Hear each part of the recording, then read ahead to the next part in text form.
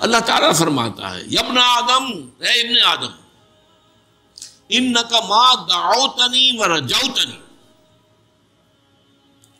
तू जब तक मुझे पुकारता रहेगा और मुझसे उम्मीद बांधे रखेगा, गफर तो लगा अला माका नमीन का वला उबाली मैं तुझे माफ़ कर दूँगा, जो भी कुछ होगा तेरे पास, जितने गुनाहों का बार तू लेकर आ जाएगा। और बड़ा प्यारा लफ्ज बोला उबाली, और मुझे इसकी कोई परवाह नहीं। है मेरे बंदे, है आदम के नस्ल, है इब्ने आदम। अगर तेरे गुनाह आसमान तक पहुँच जाए,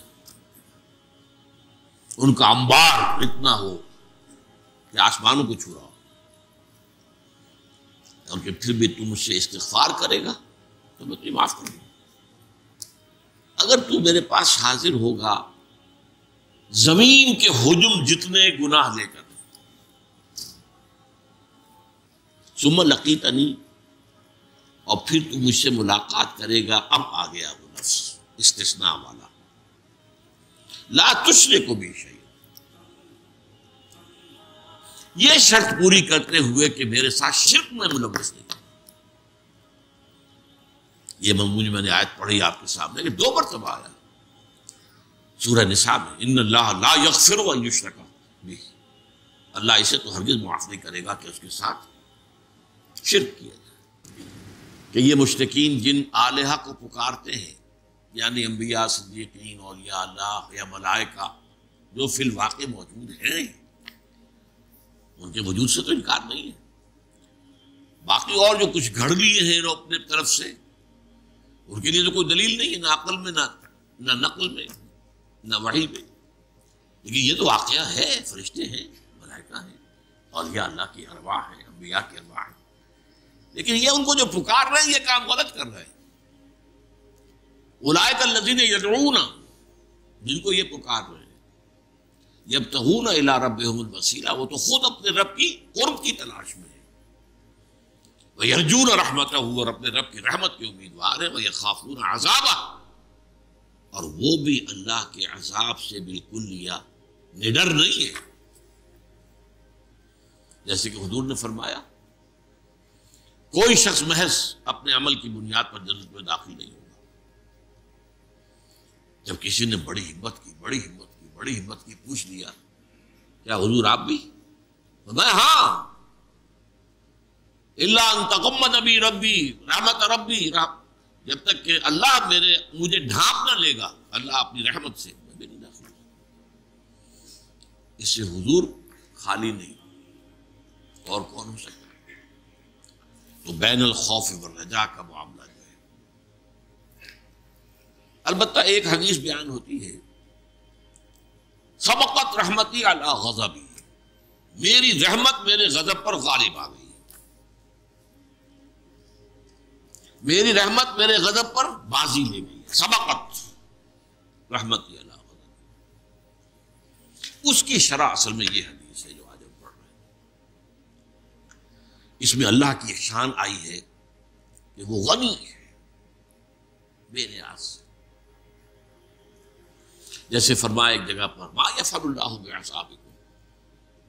अल्लाह को तुम्हें अजाब देकर क्या लेना है? नहीं नावन तुम वो शकर तुम अगर तुम ईमान और शुक्र का रास्ता इख्तियार करो तो अल्लाह माजल्ला सैडिस्ट नहीं है कि किसी को तकलीफ़ देकर उसे खुशी होती है।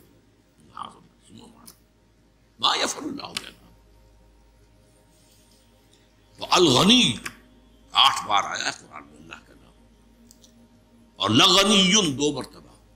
और गनीयन मनसूब हालत में तीन मरतबा। अल्लाह गनी है। कोई उसको ज़रूरत नहीं, जिसकी एक हदीस हम पढ़ चुके हैं। कि अगर ज़मीन के, आसमान के तमाम बासी अव्वल आखिर, कुल इनकाना इंसोकुम व जिन्नकुम अव्वलकुम व आखिरकुम अव्वलीन भी, आखरीन भी, इंसान भी, जिन भी, सब के सब। जो बदतरीन इंसान हो सकता है, वैसे बन जाए। तब भी अल्लाह की सल्तनत में कोई कमी नहीं होगी। और अगर तमाम इंसान, तमाम जिन अव्वलीन व आखरीन, सब वली बन जाए अल्लाह के तो अल्लाह की सल्तनत में कोई इजाफा नहीं होगा। यह है उसकी शान गनी गनी हलीम कहीं कहा गया है। गनी हमीद उन कहीं कहा गया है। गनी करीम उन कहीं कहा गया है। तो ये दो चीज़ें जो है रजाइत अल्लाह से और अल्लाह की शान इस्तना उसका बयान है दर हकीकत इस हदीस में, जिसके रावी हज़रत अनस इब्न मालिक रज़ी अल्लाह वो फरमाते, मैंने खुद सुना अल्लाह के रसूल को फरमाते ये अंदाज ऐसा है कि जो बड़ा यकीनी हो जाता है। समेटो मैंने खुद सुना। अगर आन से कहा जा रहा हो तो हो सकता है कि वो बात किसी और सहाबी से इन सहाबी तक पहुँची हो। उनसे मरवी है। अच्छा उन्होंने खुद सुना है ये क्या है। ये यकीनी बात नहीं होती। लेकिन समेटो मैंने सुना। काल अल्लाह ताला, ये हदीस कुदसी है जिसकी कई मरतबा मैं आपके सामने डेफिनेशन बयान कर अल्लाह ताला फरमाता है यबन आदम है इब्न आदम इन का मा दाउतनी व रजाउतनी तू जब तक मुझे पुकारता रहेगा और मुझसे उम्मीद बांधे रखेगा, गफर तो लगा अला मा का नमीन का वला उबाली मैं तुझे माफ़ कर दूँगा, जो भी कुछ होगा तेरे पास, जितने गुनाहों का बार तू लेकर आ जाएगा। और बड़ा प्यारा लफ्ज बोला उबाली, और मुझे इसकी कोई परवाह नहीं। ये नहीं है कि किसी इंसान के साथ आपने ज्यादती किया उसके अंदर इंतकाम का जज्बा है, जोश है। अगर है लफ्ज इंतकाम भी आता है कुरान वो शान दूसरी भी मौजूद रहनी चाहिए, खौफ वाली इस एतबार से, लेकिन ये कि जो रजा का पहलू गालिब है इन का माँ दाओतनी दो शर्तें जब तक मुझे पुकारते रहो, मुझसे दुआएँ रहो। मुझसे इस्तफार करते रहो। मेरी मफरत तलब करते रहोगे रजाओ तनी और मुझसे उम्मीद रखोगे कि अल्लाह ताला रहीम है, अल्लाह ताला गफूर है, अल्लाह की शान गफ्फारी रहमती वसियत कुल्ला शही मेरी रहमत ने हर शय का अहाता किया हुआ जो मैं सुना चुका हूँ। सबकत रहमती अल्लाह रहमती वसीयत कुल मेरी रहमत तो हर शय का अहाता किए हुए। तो जब तक मुझे पुकारते रहोगे और मुझसे उम्मीदवार रहोगे। गफर तो लगा आला माँ का तो जो भी कुछ तुझमें से होगा, जो खराबियाँ, जो बुराइयाँ, जो गुनाह, मैं तुझे माफ़ कर दूँगा। भला उबाली और मुझे उसकी कोई परवाह नहीं होगी। यह है शान अलगनी। गनी आलमीन। सूरह आल इमरान में आया। जो हज की इस्तात रखने के बावजूद ना हज करे तो गोया कि वो तरह का कुफर कर रहा है। और अल्लाह ताला गनी है तमाम जहाँ उससे कोई ज़रूरत नहीं है कि तुम जाओ, ज़रूर उसके घर का तवाफ करो वो तो गनी है। यबन आदम लाओ बलग, बलगत जुनूबों का। अनान समाए सुमस्तगफरतनी गफरतनी।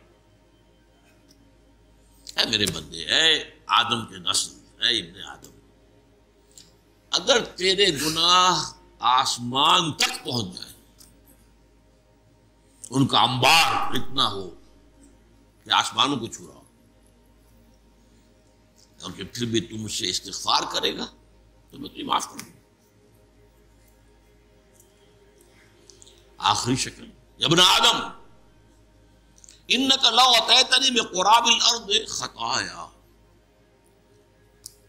अगर तू मेरे पास हाजिर होगा, ज़मीन के हुजुम जितने गुनाह लेकर। सुम लकी तनी और फिर तू मुझसे मुलाकात करेगा, अब आ गया वो नफ्स इस्तना वाला। ला को भी शही ये शर्त पूरी करते हुए कि मेरे साथ शिरक में मुलवस नहीं। ये ममूज मैंने आयत पढ़ी आपके सामने कि दो मरतबा आया। सूरह निसा में इन ला यकफिर अल्लाह इसे तो हरगिज माफ़ नहीं करेगा कि उसके साथ शिरक किया जाए। वह यकफिर